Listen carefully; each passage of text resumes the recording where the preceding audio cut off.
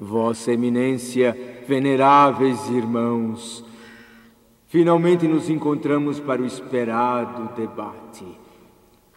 Todos nós viajamos longas distâncias para pôr fim à disputa que tanto abalou a unidade da Santa Madre Igreja.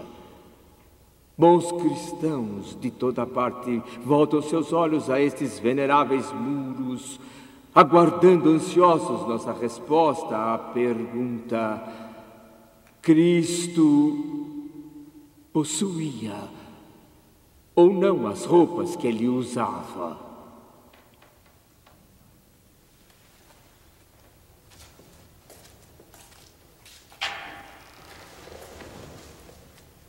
Queridos irmãos da Ordem Franciscana, nosso Santo Pai, o Papa, autorizou a mim e a estes servos fiéis para falar em seu nome. A questão não é se Cristo era pobre, mas se a igreja deve ser pobre. Vocês, franciscanos, querem ver o clero renunciar aos seus bens e entregar suas riquezas.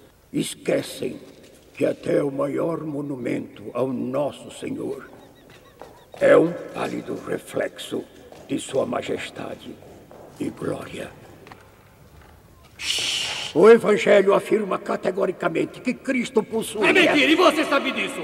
Porque nosso Senhor mandou em sete ocasiões seus discípulos não carregarem nem ouro nem prata. Vocês, esses irmãos, contenham-se, irmãos. Isso é mentira! É mentira, Irmãos, por favor! Por favor, irmãos!